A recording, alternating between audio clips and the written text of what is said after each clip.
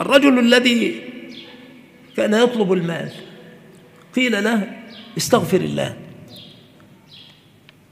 الذي كان يطلب الزواج قيل له استغفر الله. الذي يطلب البنين قيل له استغفر الله. استغفروا ربكم إنه كان غفارا. يرسل السماء عليكم مدرارا. ويمددكم بأموال وبنين ويجعل لكم جنات ويجعل لكم انهارا بأي شيء؟ الاستغفار. استغفروا ربكم وهو الغفور الرحيم. يؤتكم هذه المكرمات وهو الجواد الكريم. فيستغفر ربه يمده الله تبارك وتعالى بالمال الوفير. وبالبنين والبنون لا يأتون إلا من الزواج.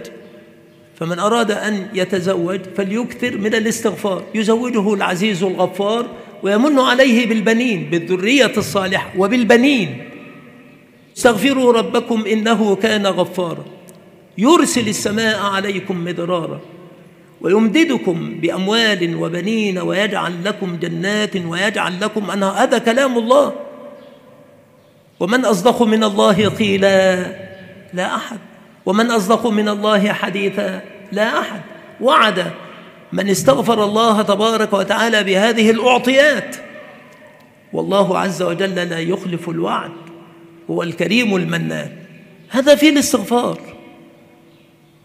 إلى غير ذلك من هذه الأذكار. فتعلم حتى يرق القلب. فإن في القلب قسوة. لا يذيبها إلا الذكر. القلب فيه قسوة.